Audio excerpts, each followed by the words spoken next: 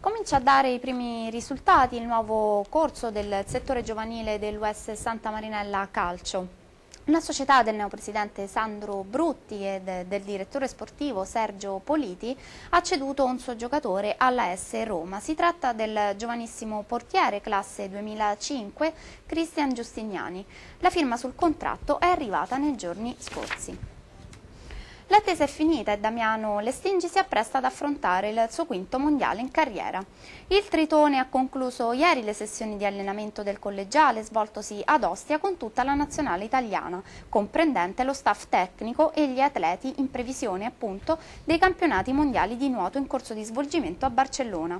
Sotto la supervisione dell'allenatore Fabio De Santis, il nuotatore civitavecchiese ha condotto oggi un allenamento specifico per la gara della staffetta 4 x 200 stile libero incentrato sui cambi con i compagni all'interno di una simulazione di gara.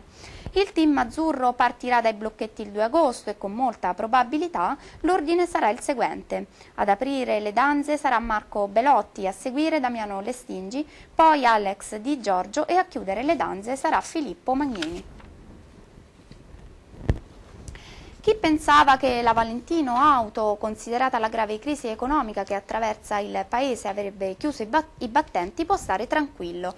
Nel corso di un incontro con la stampa locale, il presidente del sodalizio Tirrenico ha assicurato che la squadra anche quest'anno continuerà a battersi e lo farà con le stesse giocatrici della passata stagione, ad eccezione della Romitelli, che per problemi di studio non potrà più calcare il parquet del Pala De Angelis.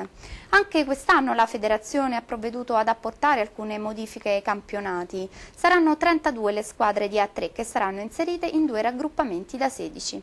Ogni raggruppamento avrà due gironi composti da 8 squadre che si affronteranno in un torneo con gare di andata e ritorno.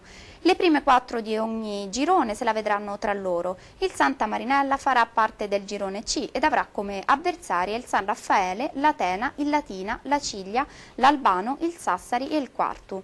La preparazione prenderà il via il 2 settembre. Ma questa è la nostra ultima informazione, grazie della cortese attenzione, un buon proseguimento con la nostra programmazione. Arrivederci.